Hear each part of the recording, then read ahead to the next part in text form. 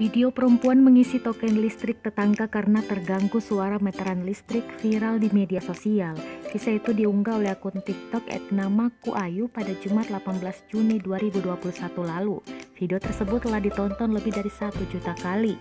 Pengunggah mengaku terganggu karena meteran listrik tetangganya terus berbunyi.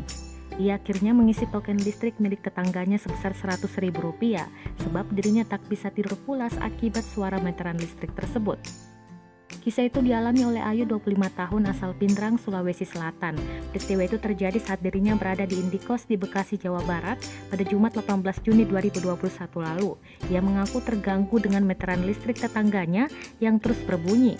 Alhasil, Ayu rela mengeluarkan uang Rp100.000 untuk mengisi token listrik tetangganya. Ia menambahkan tetangganya tersebut belum mengetahui jika dirinya yang mengisi token listriknya hingga saat ini.